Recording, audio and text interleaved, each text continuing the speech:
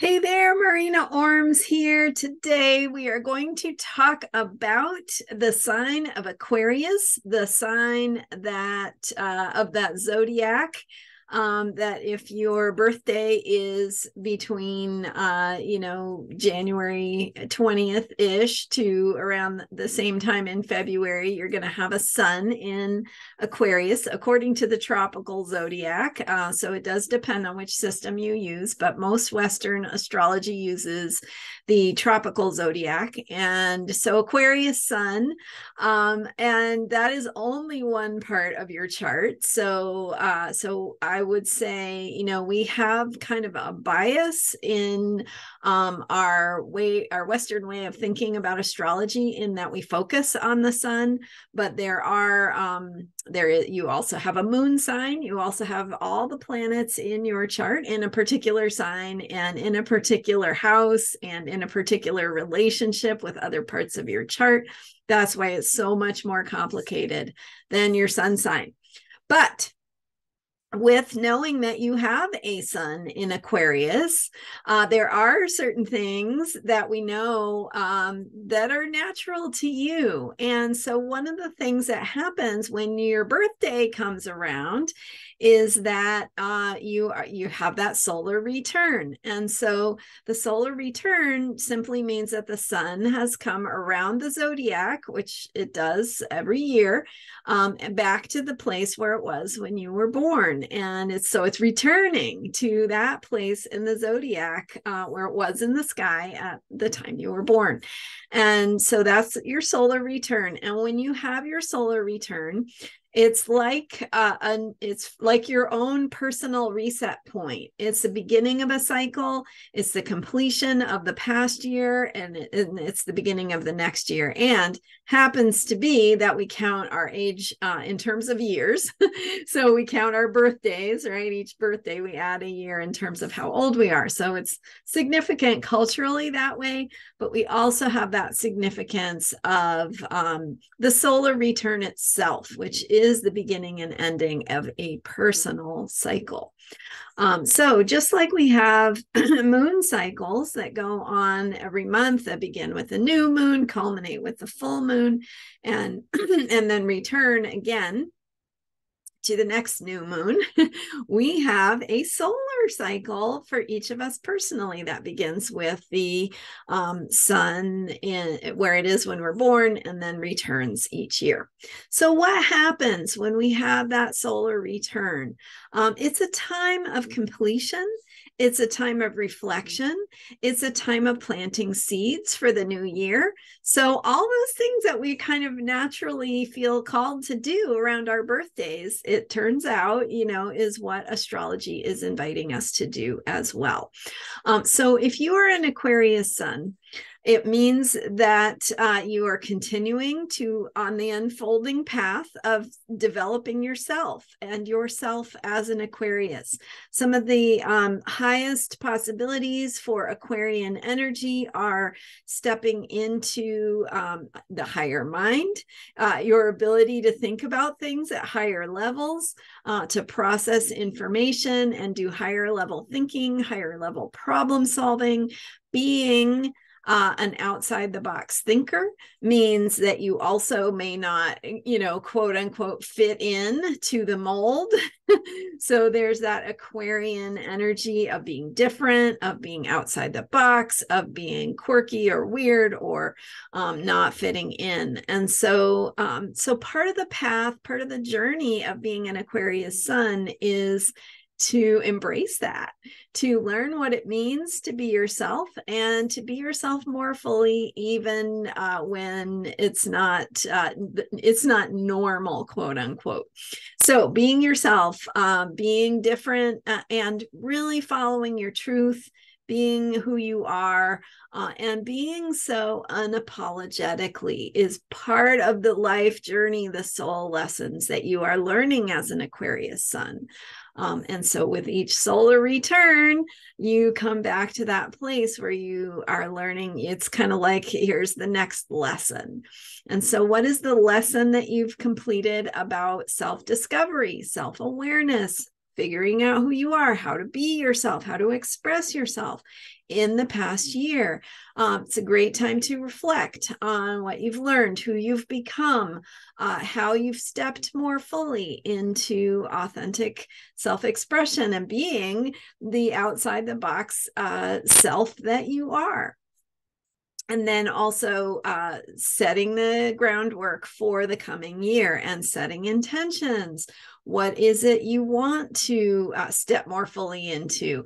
What are perhaps some of the old ways of being that don't work for you anymore that you're ready to let go of you know? So it can be a great uh, birthday exercise to you know sort of make two columns and write it out. Like here's what um, what I'm done with, what I don't want to be or feel or have or do anymore. And then here's the other column of what I do want to step into, what I do want to be and do and have and embrace and embody and live more fully.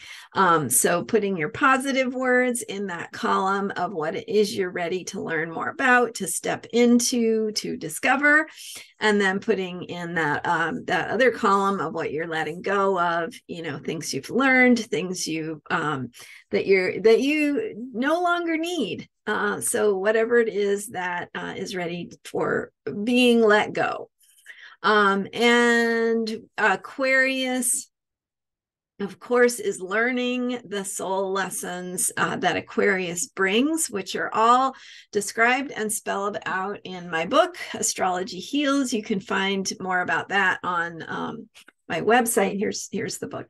That's what it looks like. Astrology Heals. Uh, it's at astrologyheals.com. And in the book, it, it can help you understand the soul lessons of each sign. It can also um, help you uh, uh, understand what where all the rest of the planets are in your chart and what uh, all these different parts of you are and how each part of you is continuing to learn and grow and step into its highest potential. So uh, recommend that book for following along with your planets.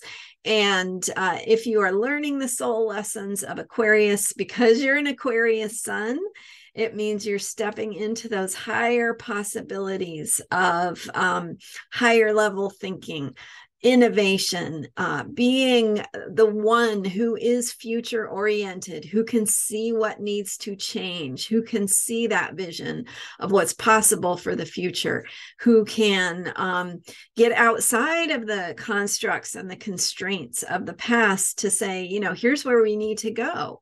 Here is what this could look like and to be just fully on board with the future. And that aquarian energy um, the highest po- possibilities the soul lessons that aquarius sun is learning um, have to do with how we embrace that future how we step into ourselves as visionaries uh, how we allow ourselves to hold that vision for the future to believe in uh, the things that we want to see uh, get better better and to rebel against the uh, things from the past that uh, that no longer work um, for us and collectively.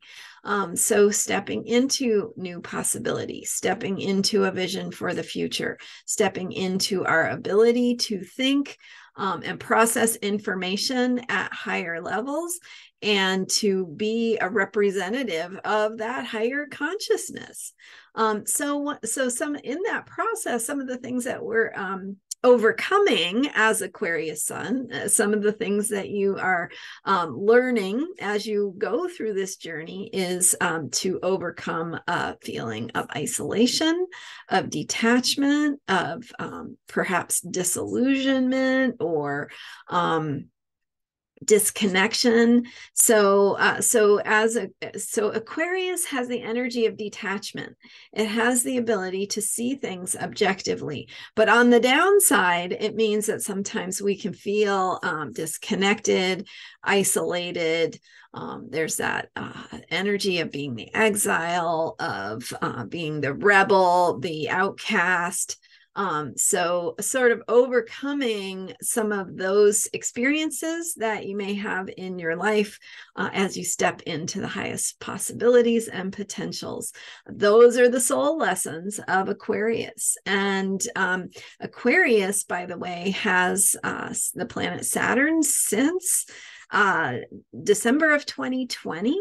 So, uh, so with each birthday you've had since 2020, and since Saturn has been in Aquarius, um, depending on when your birthday is and what degree your sun is in in Aquarius, you will have had or are having or are about to have a Saturn transit of your sun. And so your if you're an Aquarius sun, your Saturn transit of your sun happens sometime between December 2020 and uh, this year sometime.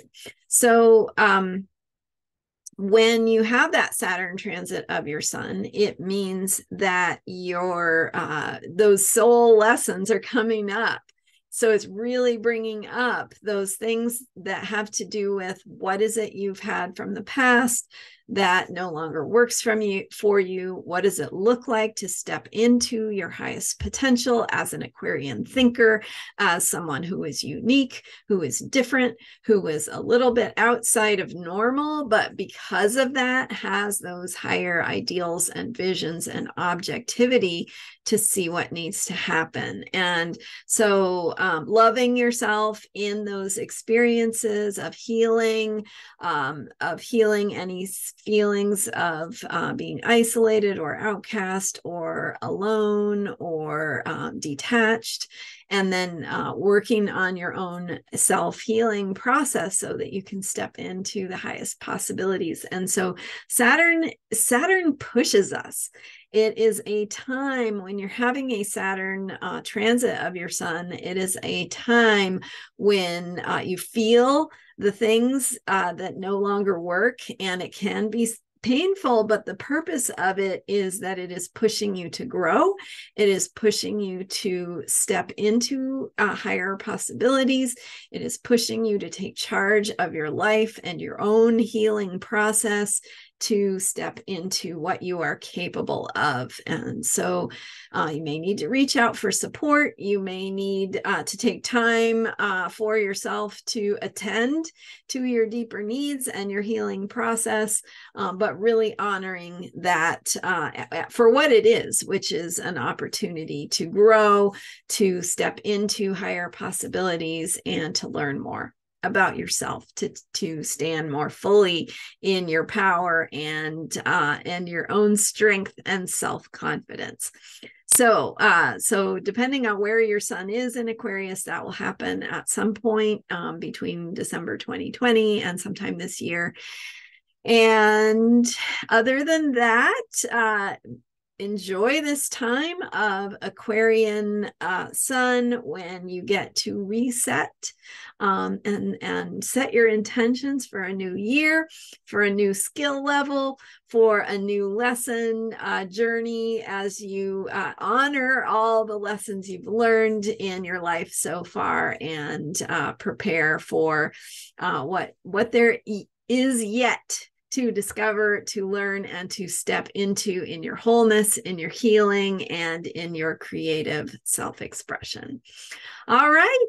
Uh, thank you for being here. Let me know uh, if you're an Aquarius sun. Let me know if this resonated for you. I'd love to hear your thoughts and comments. Let me know if you have any questions. And uh, don't forget to hit the subscribe button if you are enjoying my videos. I've got lots more for you to check out. So uh, explore the Astrology Heals YouTube channel.